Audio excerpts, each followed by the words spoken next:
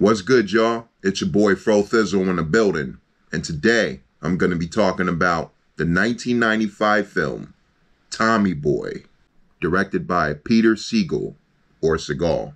Ain't nothing to it but to do it. I love this movie. It's a great slapstick comedy, and it's a great road trip buddy comedy. Chris Farley and David Spade are an awesome team together, despite all of the onset issues that they had while filming this movie. Spade plays a kind of a douchey guy really well. Right. That's a clip? Are you sure? But Farley is awesome in this movie, man. Great energy, really funny, and even some great smaller acting moments.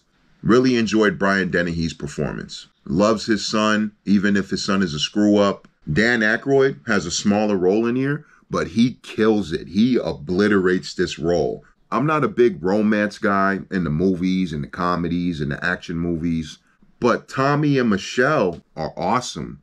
I love their chemistry. I love the relationship they have. I thought the pairing of the two was really sweet and cute. This movie was also very surprisingly emotional at times, more than I expected. I think I was in for a complete slapstick film so when I got some scenes like the father passing away and the scenes with Farley on the boat talking to his pops, I just didn't expect it in the best way. I think those key scenes made this movie from a hilarious comedy to just a really good fucking movie. I'm trying to do everything I think you'd be doing. And so far it's going pretty good. I just want to tell you that I still love you and I sure miss you a lot.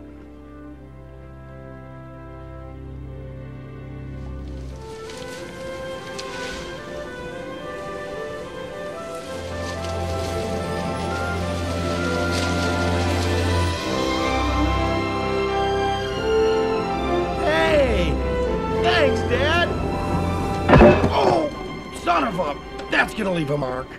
Hilarious, heartfelt, a great watch. Tommy Boy gets a 10 out of 10. I appreciate y'all. Thank y'all for watching. It's been your boy Fro Thizzle. Until next time.